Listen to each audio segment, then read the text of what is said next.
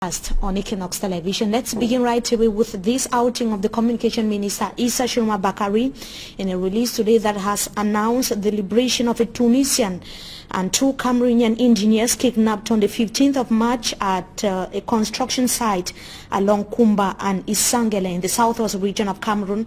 Issa Tchiroma Bakary in a release this afternoon stated that one of the Tunisian nationals called Khaled Tinsa who was also kidnapped on that same 15th of March, was killed by the kidnappers and four of the attackers killed. He called it an attack by terrorists.